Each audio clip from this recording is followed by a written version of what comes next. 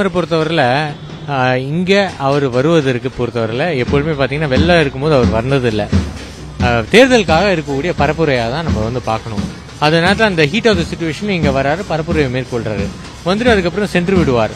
ஆனால் இங்கே மக்களை பொறுத்தவரை தெளிவாக இருப்பாங்க. அவர் எத்தனை தடவை வந்தாலும் சரி மக்கள் வந்து அதிமுகவுக்கு வாக்களிக்க வேண்டும் என்று முடிவு செய்து விட்டார்கள். ஆனால் பிரதமர் வருவது குறித்து எந்த விதத்தும் தாக்கத்தை ஏற்படுத்தாது. எப்பொழுதுமே பாமக பொறுத்தவரையில் அதுக்கு அங்கீகாரம் கொடுத்தது என்று சொன்னால் அது அனைத்து இந்திய திராவிட முன்னேற்ற கழகம் தான் அங்கீகாரம் கொடுத்து சீட்டு கொடுத்து அதனால தான் அவங்க வந்து எம்எல்ஏ ஆனாங்க எம்பி ஆனாங்க போன்ற அவங்க கட்சி வந்து வளர்ந்ததே அனைத்து இந்திய திராவிட முன்னேற்ற கழகத்துக்கு தான்.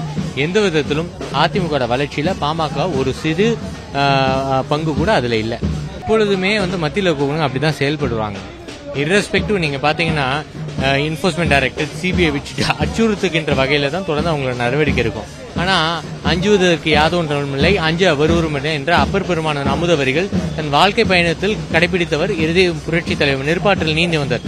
அந்த வழியில் வந்திருக்கக்கூடியவங்க நாங்கள் அவங்க பயிற்சி பட்டறையில் வந்திருக்கக்கூடியவங்க நாங்கள் இந்த அச்சுறுத்தலுக்கு தான் நாங்கள் பயப்பட மாட்டோம் பயப்பட மாட்டோம். தேமுதிக பிரேமலதா அக்கா சொன்னது போல கண்டிப்பாக அச்சுறுத்தல் செஞ்சிருப்பாங்க.